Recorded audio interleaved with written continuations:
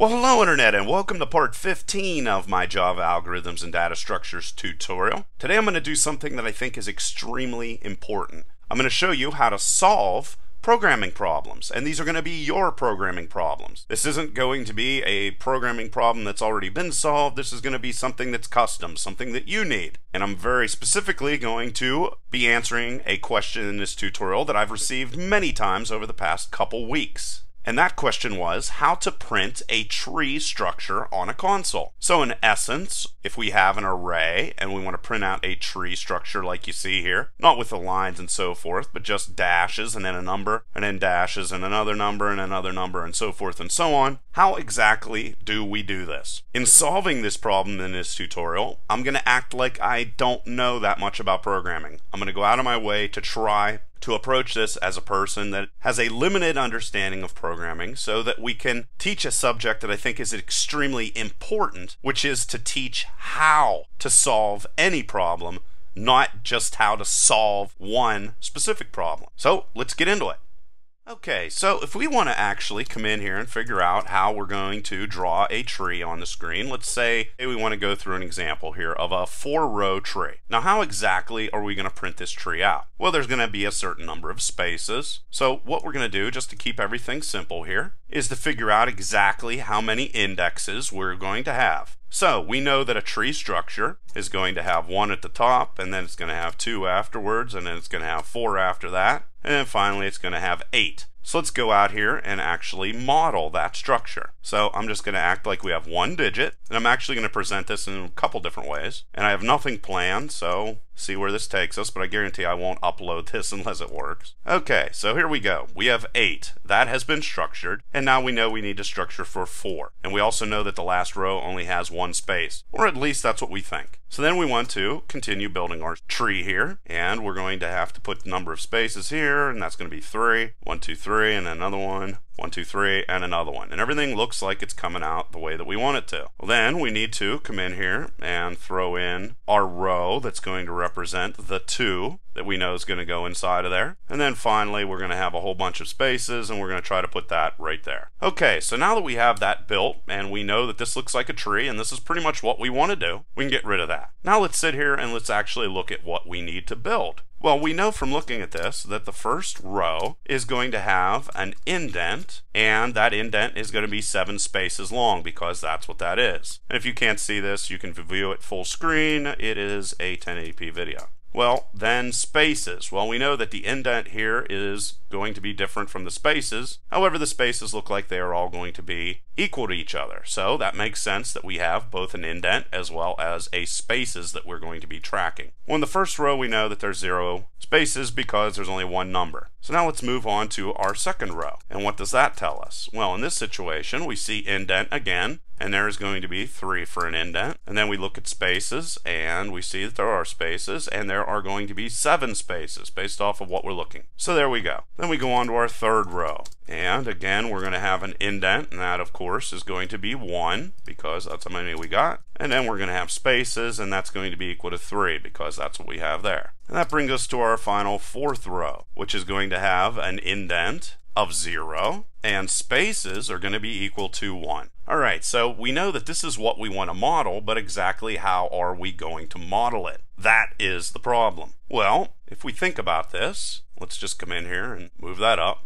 We know that we want to calculate indent, but we don't necessarily know what it is, and in this situation I'm going to act like I have no idea how to do math. So we need to figure out a way to calculate 7, then 3, then 1, then 0. How do we do that? Well, in this situation, I'm actually going to cheat. Let's come into Wolfram Alpha, and there it is, Wolfram Alpha right there. And there we go, we just pumped in our numbers, 7, 3, 1, and 0, and we're going to hit equals. And this is going to provide us with our algorithm that we need to solve. Alright, and we scroll down through here, and we can see that here it is. This is our answer, this is the guy that's going to provide us with all the numbers we need for our indent. And that's going to be negative 2 to the power of negative n, negative 16 plus 2 to the power of n. That is the guy we need. So now let's jump back over and let's calculate that out. So it's going to be negative 2 to the power of n multiplied times negative 16 plus 2 to the power of n. And from looking at this, n in this situation is going to be represented by 1 as we are generating these indents. So that tells us also we are going to need an iterator to pump out all the different versions of indent and it's going to start at 1 and it also is going to go for as long as there are rows. So I'm just going to type in go till no more rows. And there we go. So now we know we have indent in our code and we're going to need it. We know how to calculate it as well. And we also know that we're going to need an iterator of some sort that's going to start at 1 and it's going to go as long as there are rows to keep generating indents for. So that leads us to spaces. How are we going to calculate that? Well, the cool thing about generating trees is what was once the indent then becomes the space, and so forth and so on. So that means for our spaces, they're going to start off as 0 and then whatever indent was previous time that we cycled through and generated this tree. So now we have three things that we know we have to create here. So now let's go on here and start thinking about some of the other things. Well, we're also going to need to know what index to print. So this is going to be 0, this is going to be 1, this is going to be 2, 3, 4, 5, 6, and 7. Those are the indexes that are going to start off this guy. So to figure out first index per row. Let's just go through and think about that for a second. It's going to be 0, and then it's going to be 1, 2, 3, 4, 5, and 6, 7, 8, 9, 10, 11, 12, 13, and 14. And those are going to be all our indexes. And then look at this. What's so cool? 0, 1, 3, 7. And if we come up here, you're going to see 0, 1, 3, and 7 is right there. Then if we bounce over into Wolfram Alpha again, in this situation, we're going to go 0, 1, 3, and 7, and calculate that, and generate ourselves another algorithm we're going to be able to use to generate whatever the first index is. And this guy is the algorithm that we want. So it's going to be 1 half times negative 2 plus 2 to the nth power. Let's jump back over here and put 0.5 or 1 half times negative 2 plus, and then just to keep our head straight, we're going to type in the Java code for generating the power of this number, and we'll type in 2. And in this situation, we're also going to use the iterator. The iterator is this guy up here. Need an iterator. This is actually going to be iterator, and right here as well. Okay, so now we got a whole bunch more of these guys. So what is going to be our number of items per row? Something else we're going to need to calculate. Well, if we look at this again, you're going to see 1, 2, 4, and 8. So, number of items per row. And that's going to be 1, 2, 4, and 8. Doubles every single time. Well, I'm going to be lazy again. I'm just going to copy this, jump over into Wolfram Alpha. And no, this isn't an advertisement for Wolfram Alpha. Just using it to do quick math. Alright, so now we type that in there rather than thinking too much. Scroll down here and it's 2 to the nth minus 1. That is how we're going to calculate that. So we're just going to go math power of 2, iterator again, minus 1. And we're able to figure that one out as well. And the only other thing I can think of that we're going to need is the maximum index per row that we're going to print. Max index per row. And that's going to be a very easy calculation. That's just going to be index to print first plus items per row. And as you can see, this is slowly starting to look like code, but in general, that's all that I'm doing. So that's how we're going to generate that. Well, now that we have all our numbers together, let's think about what we're going to do. Well, let's actually come up here, right inside of here. Well, in essence, we're going to go indent, and then we're going to go number. This is going to be the process of printing all this stuff out. Again, we're going to go indent and number, and then we're going to have a space, and we're going to have another number. Let's just copy this so I don't have to type it out again. And then on the third row, we're going to go indent number, space, number, space, number, space, number. So that's one, two, three, four numbers, and there's one, two, three spaces. So what this tells me is I need one indent followed by multiple numbers and spaces every single time that I create this. Now based off of all the things that we just did here, I pretty much have everything I need to actually write this code. So let's just copy it and let's jump over and let's write some. Okay, this is actually going to be the last part of the algorithms tutorial. I just decided to do this on a whim. So I have some of this stuff here, but in essence all this is doing is it's generating an array that I am then going to print out on the screen as a tree. That's all we're going to do. So that brings us to this point right here. So this is print tree. Please bear with me, I'm doing a lot of this out of my head. So there we go. I put in everything that we're going to need here. Actually, I don't need all this. Well, I'll leave that there.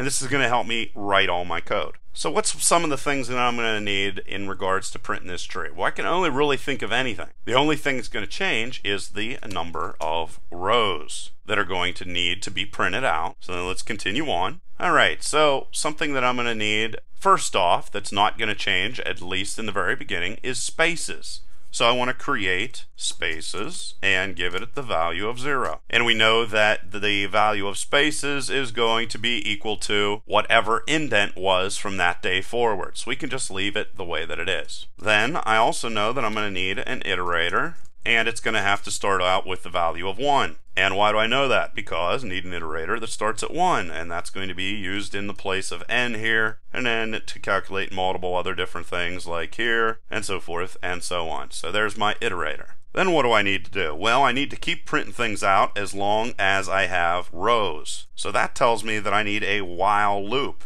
See, I used while in defining what I was trying to do. And this is iterator, not iteration. And I'm going to continue printing stuff out on the screen as long as my iterator is less than my number of rows. Now inside of my while loop, what do I need to do? Well, one thing I need to do is calculate what indent is going to be equal to. So put that in there, and I can get rid of some of this stuff. Well, here is the calculation for indent right there. So to calculate it on my own, I know that I'm going to need to convert this into an integer and I'm also going to put absolute value in this situation.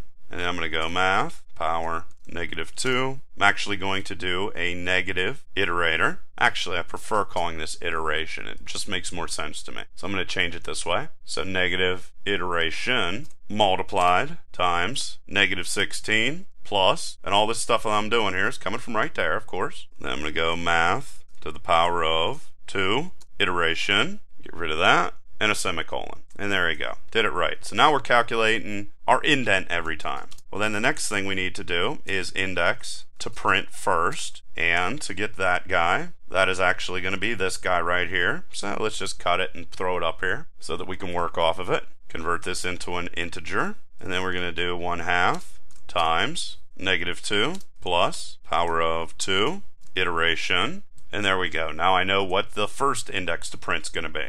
Then I have my items per row, and I can get rid of this. Number of items per row, that's going to be this guy right here. Int, just call this items per row, which is exactly what it is. Throw that right in there. I have to call this an int, and I'm going to call this iteration again. So as you can see, I'm basically just turning the words into code here. Then I need to calculate my maximum index to print. And if we come down here, you can see index to print, items per row. Let's bring it back up here. It's kind of what I did. Is that right? Items per row. And there we go, maximum index to print per row. Well, then what do I need to do? Well, I need to print indent once every single row and then print a whole bunch of numbers and spaces. So that tells me I need to create a for loop and I'm just going to call this int j is equal to 0, j less than whatever the indent is, j plus plus. And I'm just going to use this to print a whole bunch of spaces. All right. Well, now that I have that in there, I also know that I have to print different numbers of numbers and spaces, depending upon how many rows or how many different things I want to do.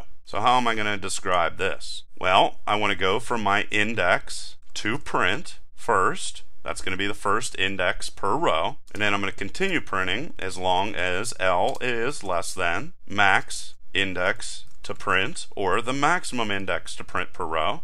And then I'm going to increment that. Now from this point, I want to then print a number out on the screen, heap L, and that is going to be the key. That's, that's what's going to get printed out on the screen. And then after that, I need to print a certain number of spaces on the screen. So throw that in there, and I'm just going to change this to K, and this to K, and this to K, and this is going to be spaces that I want to print out on the screen. And then what do we know from looking at all this stuff? Well, spaces is going to start off at zero, and then it's going to become whatever indent was. So after I'm all done printing all, a whole entire row, I want to say, hey spaces, you're now equal to whatever indent was equal to previously. And iteration, I'm going to increment you. And then because it's the end of the row, I want to put a new line. So there we go. That is basically turning all those words into actual code. It's not optimized, but we'll get to that in a second. So if we file save that, and let's come in here and give it a test drive. So here we are down in main, and don't worry too much about what heap means at this point Like I said, I'm going to do it, cover it in the last part of the tutorial series. It's just an array that's going to get printed out on the screen as a tree. That's all you need to know. Alright, so let's say we want this to be 15 spaces, and I can just go new heap, generate filled array, and it's just going to fill my array up with numbers. Don't worry about all that. Cover it in the next part of the tutorial. And that there is going to just generate everything and throw it into order, not that it necessarily needs to be. Okay, so now that we have all that set up, let's go and actually print this guy out. So I'm going to go new heap dot, and we'll come in here and test out, print our tree, and we know that we have four rows inside of it. Let's file save it, see what happens. And there you can see is our tree, and it's all printed out nice and beautiful, exactly like we wanted. Now there's only one problem with this. What happens if we change this to number of rows 3, file save, and execute? Well that prints out all nice and dandy. But what if we go in here and try to change it to 5 or something? Yeah, I had guaranteed errors. There we go, all kinds of errors. So what would we do if we wanted to generate the ability to be able to print out both two digit numbers and not be stuck with just one digit number, but also we wanted to be able to print pretty much any type of tree we could possibly imagine. Well, tune in to the next part of the video tutorial and you'll get your answer. Please leave any questions or comments below. Otherwise, till next time,